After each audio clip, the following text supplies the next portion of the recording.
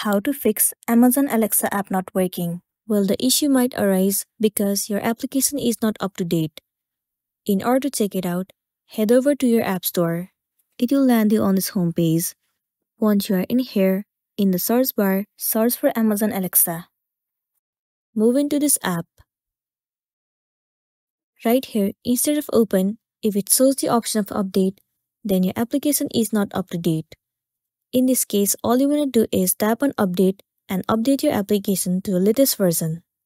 Once you have the latest version of the app, now the next step you want to do is head over to the settings of a device. Move into general. Head over to iPhone storage.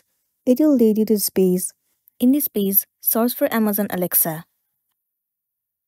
Once you have find it, move into it. In here, you'll see the option of Offload App click on it. And then once again click on Offload App. It means clearing the cache and the storage of the application.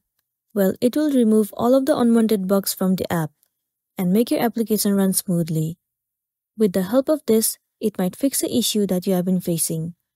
If not, you can uninstall the application and reinstall it again. Reinstalling the app will definitely fix the issue and then you'll be good to go. So that's all for today and this is simply how you can fix Amazon Alexa app not working. Make sure to hit the like button and consider subscribing if you found this video helpful. We'll see you in the next one.